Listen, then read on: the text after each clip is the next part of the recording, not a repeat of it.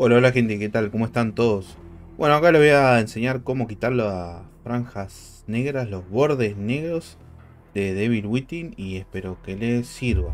Bueno, para empezar, bueno, vamos acá, vamos a la parte de Steam, biblioteca, inicio. Vamos al juego, apretamos clic secundario, vamos a la parte de propiedades y acá dice parámetros de lanzamiento. Vamos a agregar este comando más com-allow console espacio 1. ¿Sí? Una vez que hacen, que teclean, cierran acá.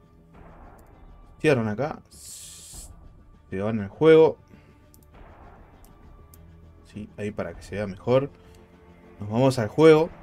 Y dentro del juego vamos a apretar la tecla Insert. Que es INS. Y van a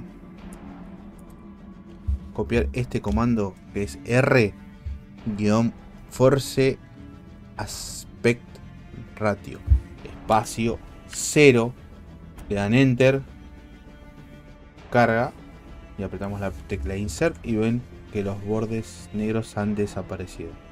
Gente, recuerden siempre, siempre recuerden eh, activar el comando porque no les va, no les va a habilitar recuerden, recuerden habilitar este comando de Steam, ¿sí?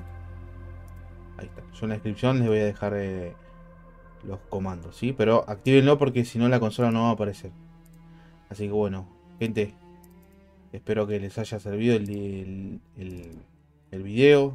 No olviden de suscribirse. Un saludo para todos, gente. Chau, chau.